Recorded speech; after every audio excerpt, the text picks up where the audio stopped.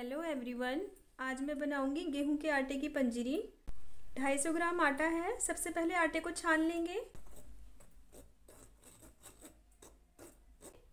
125 ग्राम देसी घी लिया है मैंने। घी को मीडियम फ्लेम पे हल्का गरम करेंगे। 25 ग्राम बबूल का गोंद।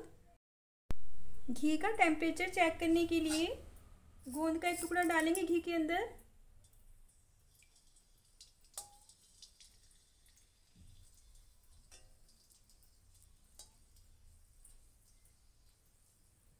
फूल गया है, तैर के ऊपर आ गया है, लेकिन जला नहीं है। घी का टेम्परेचर ठीक है। सारा गोंद इसमें डाल देंगे और फ्राई करेंगे।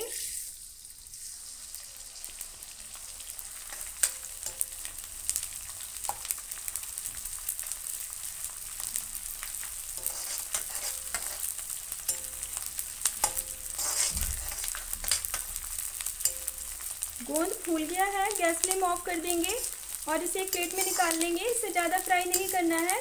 गोंद जल जाएगा और कड़वा लगेगा खाने में। गोंद को एक प्लेट में निकाल लिया है। लो टू मीडियम फ्लेम पे इसी घी में आटे को भूनेंगे।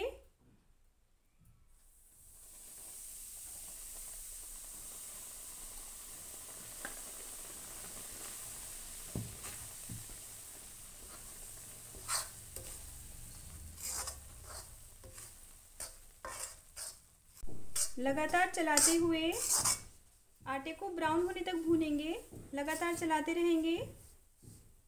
गैस फ्लेम आप ज़रूरत अनुसार कम या ज़्यादा रख सकते हैं। आटे को मैंने 10 मिनट के लिए लो टू मीडियम फ्लेम पे भूना है, लगातार चलाते हुए। आटा भून गया है, अब इसमें डालेंगे 100 ग्राम बादाम कटे हुए। 100 ग्राम काजू कटे हुए। पचास ग्राम मगज। इन सभी ड्राई फ्रूट्स को भी आटे के साथ भून लेंगे थोड़ी देर के लिए। लगातार चलाते रहेंगे।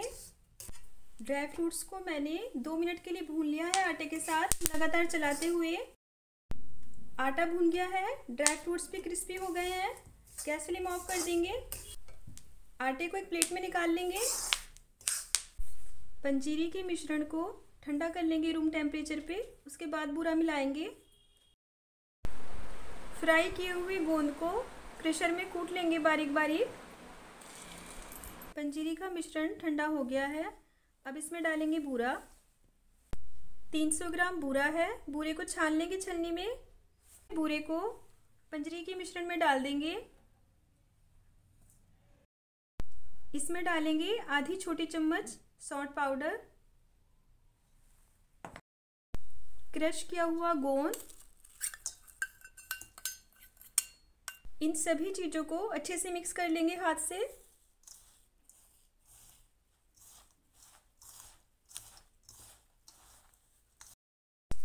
सभी चीज़ें अच्छे से मिक्स हो गई हैं। एक प्लेट में निकाल लेंगे। पंजीरी में आप ड्राई फ्रूट्स देसी घी में फ्राई करके भी डाल सकते हैं। मैंने आटे के साथ भुने हैं। मीठे की मात्रा आप स्वाद अनुसार कम या ज़्यादा कर सकते हैं। देसी घी भी आप ज़रूरत अनुसार कम या ज़्यादा कर सकते हैं। ड्राई फ्रूट्स आप अपनी पसंद के डाल सकते हैं। ड्राई फ्रूट्स की मात्रा आप कम या ज़्यादा कर सकते हैं। अगर आपको रेसिपी पसंद आई है, वीडियो को लाइक कीजिए, शेयर कीजिए, चैनल को सब्सक्राइब कीजिए।